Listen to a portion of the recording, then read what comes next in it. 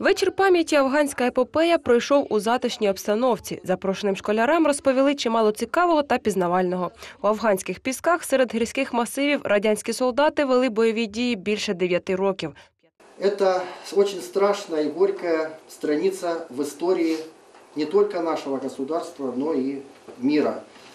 Потому что многие наши соотечественники, которые выполняли интернациональный долг на территории Республики Афганистан, погибли или вернулись покалеченными, или вернулись просто с покалеченными душами.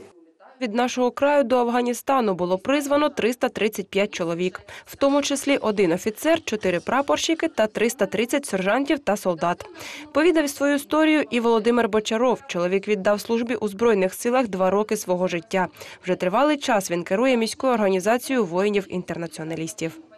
Спецотряд насчитывался 250 человек, все старшие офицеры там были.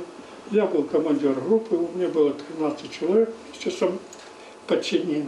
Это разведка, собира- разведывали, собирали данные. Я, мои подчиненные и мои наводчики, как их звали афганцы, выходили на местность, перекрывали тропы и уничтожали этот караван, который вез оружие. Восьми нашим землякам не пощастило повернутися додому. Всі присутні сьогодні вшанували пам'ять загиблих хвилиною мовчання. Відчув на собі всі жахіття афганської війни і Юрій Хавранюк. На його долю припав довгий рік бойових дій. Говорить, згадувати ті часи не дуже хочеться, проте були й радісні та щасливі хвилини. Нас призывало, призывалось на Кировобад и на Кировакан. И буквально вот так были такие моменты, что посреди дороги останавливается машина, и видишь на э, лобовом стекле надпись «Донбасс», и тут вылазит, с кабины выходит э, тот человек, с которым мы служили, или с Красноармейска прямо, потом как-то это минутно вот так друг друга, ну, а, конечно, потом нервотрепательство до слез доходило.